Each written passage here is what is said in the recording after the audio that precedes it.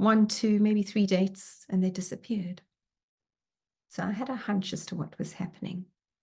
She is oh, the most beautiful person physically, and the essence of her is amazing. So she shouldn't have a problem with dating. Aha. Uh-huh. How quickly was she becoming intimate in that relationship with them? And I've had a number of clients challenge me on this.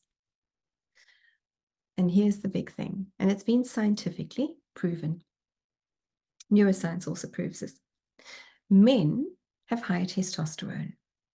It overrides oxytocin. Oxytocin is the bonding hormone. So, with sexual connection, more hugging, more kissing, we release oxytocin. We bond. Women will bond more quickly.